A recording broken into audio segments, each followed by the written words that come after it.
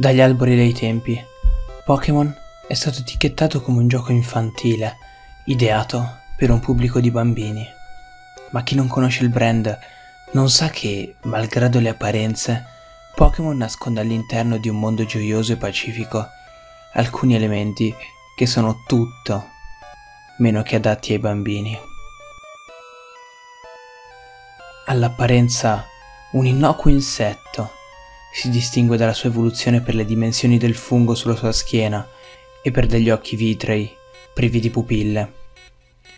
Se si trova solo in quinta posizione è perché malgrado tutto ciò che lo caratterizza avviene anche in natura.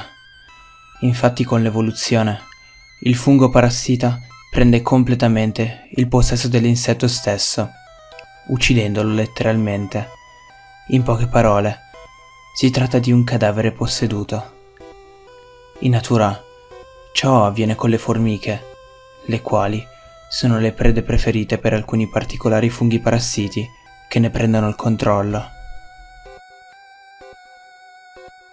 Questo Pokémon è ispirato ad una figura folclorica giapponese, la Kitsune.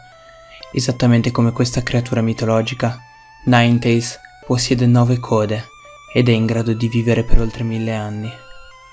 Inoltre, è un Pokémon vendicativo, che non esita a scagliare terrificanti maledizioni contro coloro che osano sfiorare una delle sue code.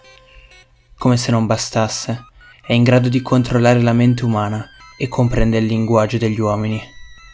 Alcuni sostengono che questo Pokémon fosse un umano in passato, che provava rancore verso tutti quelli che non hanno perso la propria umanità, e perciò non esita a scagliare contro questi ultimi sventure d'ogni genere.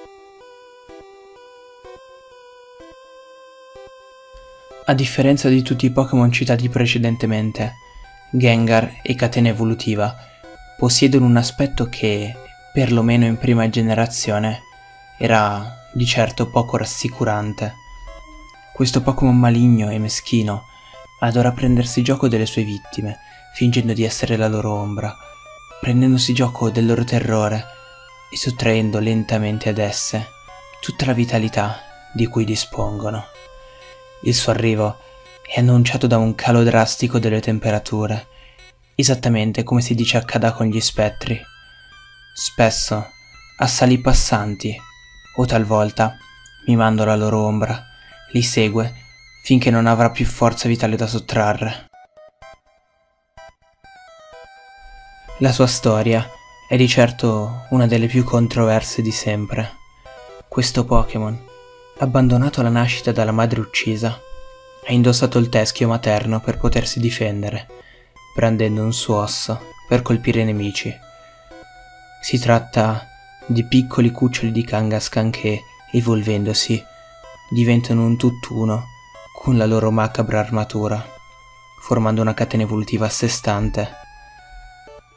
Nessuno sa con certezza quale sia il suo aspetto reale che cela sotto il teschio, e molti sarebbero disposti a tutto per saperlo, ma soprattutto per ottenere quel teschio dal grande valore. Questi Pokémon e la loro catena evolutiva, già dannata dalla nascita, sono stati anche soggetti delle angherie del Team Rocket.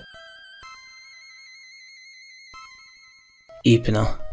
Cosa c'è di peggio di un Pokémon pedofilo in un gioco che attira maggiormente i bambini. La sua fama lo precede ed è ormai tristemente nota. Ipnotizza bambini per poi portarli con sé nella sua caverna, dalla quale molto spesso non sono mai usciti. Spesso nei giochi Pokémon questi fatti vengono ben celati. Nel caso di Ipno, beh, non è proprio così. In Pokémon Rosso Fuoco, per proseguire nella trama, sarà necessario salvare una bambina, in un bosco, di nome Lisetta. Ciò che dice la bambina stessa prima che Ipno appaia non lascia molto spazio ad interpretazioni.